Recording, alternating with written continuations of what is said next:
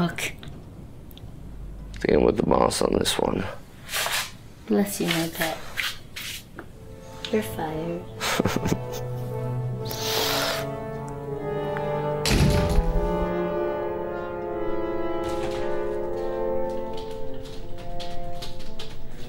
Mom's home. Has any mail for me been delivered at this address? I think I had some checkbooks sent here by mistake.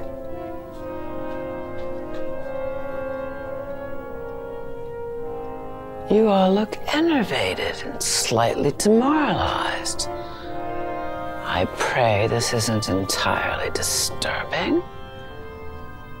Just in the neighborhood, I guess.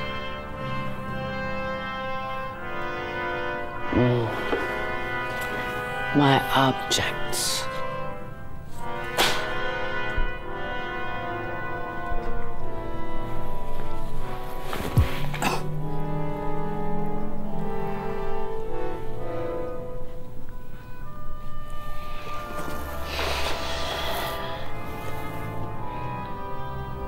Anything exciting happened today?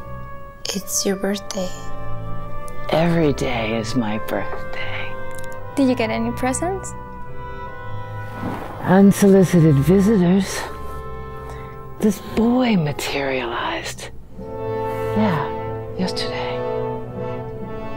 I was meditating. Sky. What was that? Ah.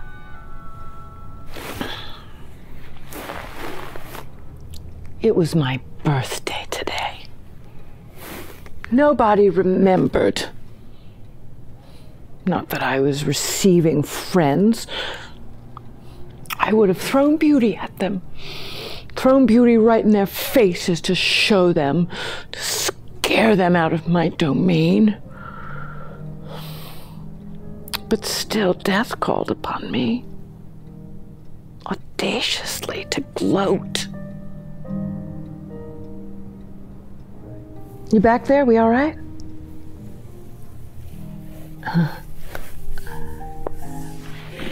He was dressed like a suit, only his tie was a noose. God, that went out of style in the 70s. But you know what this godforsaken little creature said? You have nothing to be ashamed of. I could have murdered his children in front of his very eyes for saying that. I mean, what does that even mean? What's the implication, even? That I'm unaccomplished in all my postures?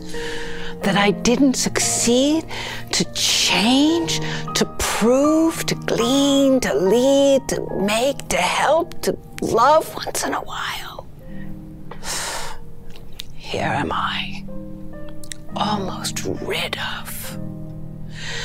Why assail? Why vex a blameless wretch? Telling me the jig is up, redundant poltroon. He avails not the waning trample of my engine.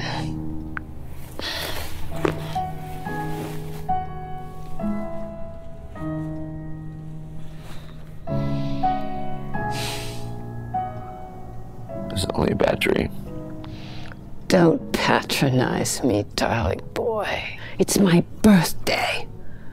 No tawny panty waist is going to walk away whole, affronting this survivor thus on her special day.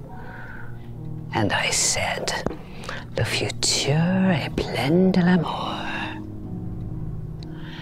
And I think the message registered because he skittered out of my sight like the guilty vermin.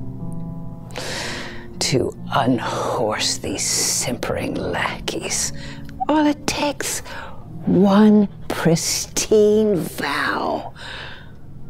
And they steal off, hissing back to hell. Stick that in your pipe and smoke it. Está fumadísima, se la pira. Finalmente está hablando. Está aquí.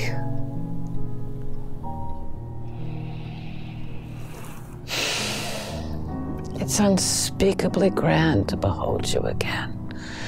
My terrible babies. My wonder kids. Can I ask you something, Woodrow? If you don't mind an honest answer.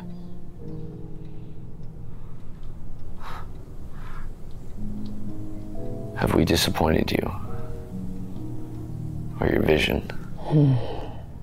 My dear one, my cherished ones. There's only one way you could ever disappoint me. We better get going. You'll exhaust yourself again.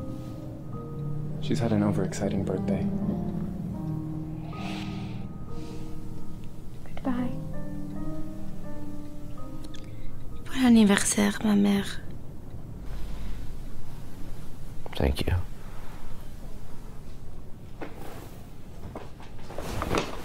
Clarity. Now I remember the purpose of my coming. I wanted to say something prophetic about the future.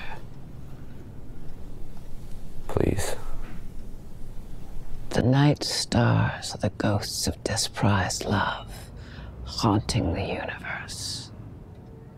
One day, when the whole thing starts collapsing, all of the energy will turn back upon itself.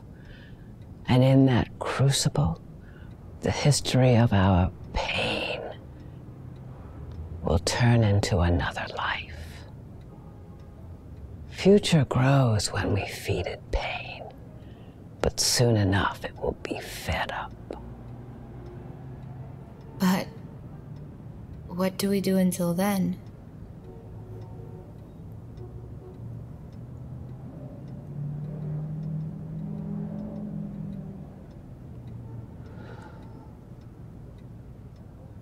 Kill them all. God will know his own.